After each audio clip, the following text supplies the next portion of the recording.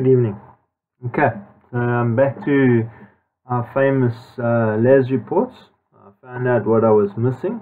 First of all, I didn't have a select statement, um, and because I'm not opening any of my other forms, um, this is you wouldn't be able to execute anything. So this is just a continuation from the previous video.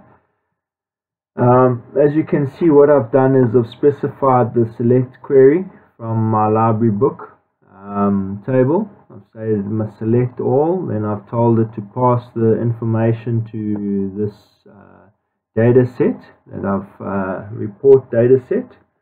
And then from there I've asked it to open the database and I've asked it to open my query. And that will happen on the form show and then the, the button report will actually just show us some uh, results.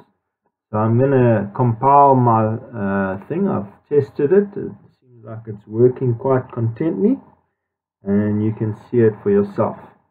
Um, so as you can see, I haven't gone into any forms. I'm just clicking on this list of titles. Here's my report form that comes up. I click on print report and this is what results I get.